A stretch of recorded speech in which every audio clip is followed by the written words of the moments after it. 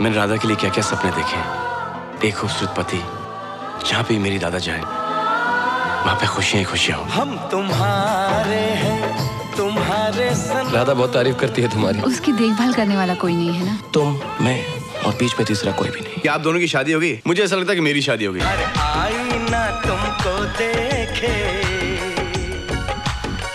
तुम तो ऐसी शहजादी मेरे ही सामने, मेरे ही घर में मेरी बीवी से कहता है, तुझको एक बच्चा चाहिए तेरे लिए तेरे लिए। हम तुम्हारे तुम्हारे सनम। जाने मन मोहब्बत की हर कसम की कसम ना जुदा